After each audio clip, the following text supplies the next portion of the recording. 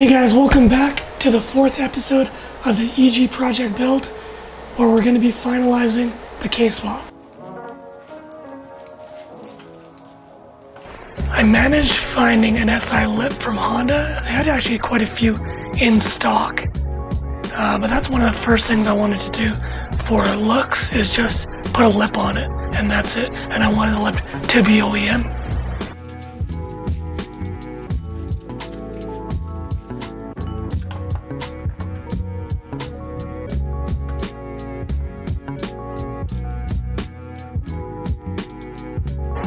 For the new brake system, we're going to need hard lines to connect the proportioning valve to the new master cylinder. I've gone with stainless uh, just for its looks. It's a lot harder to manipulate uh, than steel.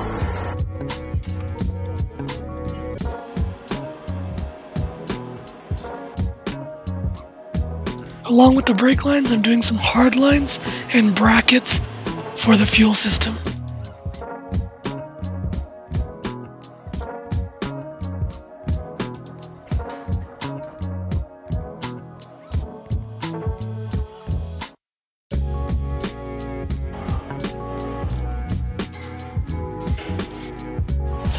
For flaring the brake line, if you use a parts store flare tool, you're going to end up with inconsistent flares.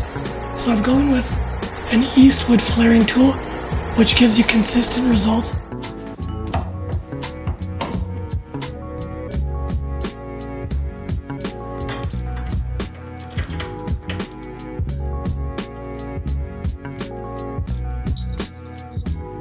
This is no cut shifter from Hybrid Racing.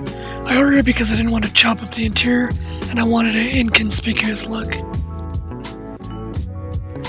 It did need some tweaking, the springs were really loud on it, so I did some research on how to silence coil springs.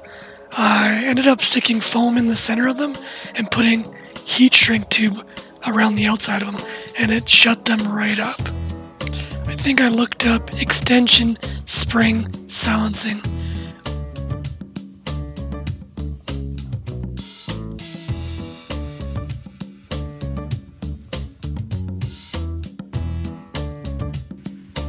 I found these JDM corner lights from Checkered Sports on Instagram. Brand new in box to replace those ugly North American corner lights.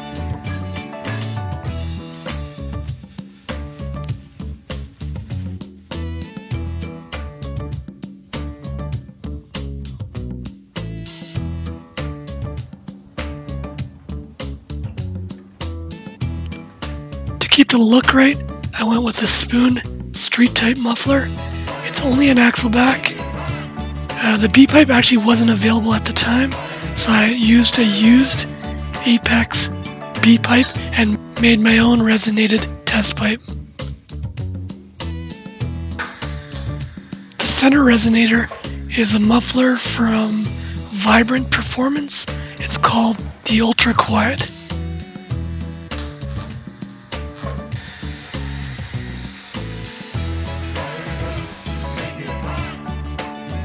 This is my favorite part of the build, and it was also the hardest part to find.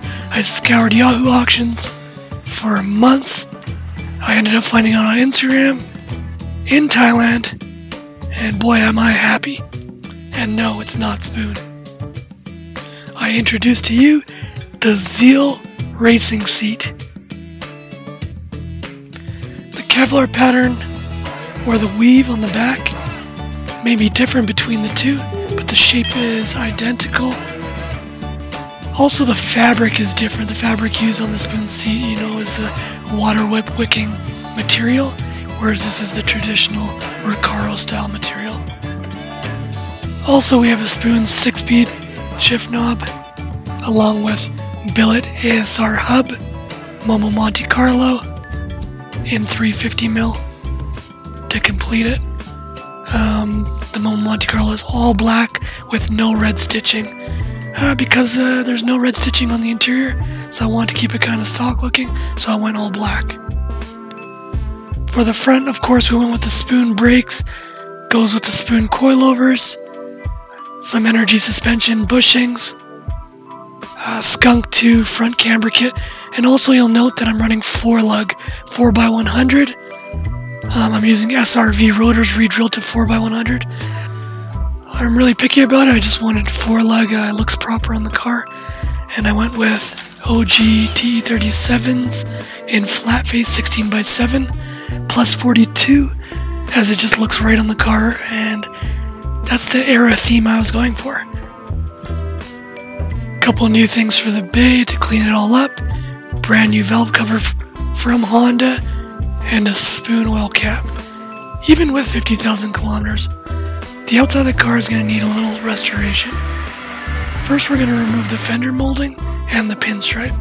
And to do that, we're using a rubber wheel on a drill.